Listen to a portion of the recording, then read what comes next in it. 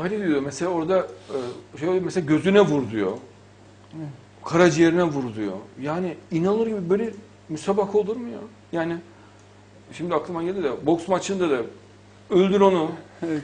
Değil mi? Dağıt artık falan. Ya mesela adamı vuruyor ve feci şekilde dövüyor. Adamın e, beynin beyin sarsıntısı geçiriyor. Yani bakamayacak hale geliyor. 10, 9, 8, 7, 6 ge- geriye doğru gidiyor. Aferin diyor. Çok güzel dövdün diyor. E, Tebrik ederim seni. Ama daha da mükemmeli şöyle bir vurdum, oturtturdum yere bir dümdüz buraya komaya sokarsan zaten knockout. O sen, en büyük oldu. Eller havada hopluyor. Ya adamı sen bayıltmışsın, komaya sokmuşsun adamı. Nasıl elin havaya kalkar da hoplayarak sevinirsin yani ben. Bütün alkışlıyor salon yani. Helal olsun diyor ya. Ya Nasıl adamı dağıttın diyor. Ya Allah vermesin yani rahatça ölebilir adam. Yani çoğu da ölüyor zaten. E, surata vurulur mu? Be ya, ya, e, değil mi? Yani Evet. beyin sarsıntısı geçiriyor. Evet. Abonde ne oluyor? Ee, çok e, çok tebrik ederim diyor. "Ha, Çok güzel diyor. Bak saydırdın diyor. Yahut havlu atıyor mesela. Evet. Feci şekilde dövüyorlar. Artık e, onun yardımcısı antrenör acıyor.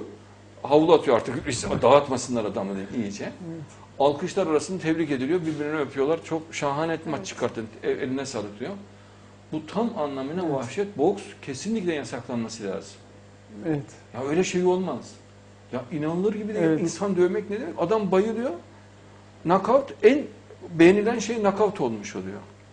Yani hepsini knockout'ta kazandı. Helal olsun diyorlar. Adam komaya sokuyor yani. Bayılıyor adam.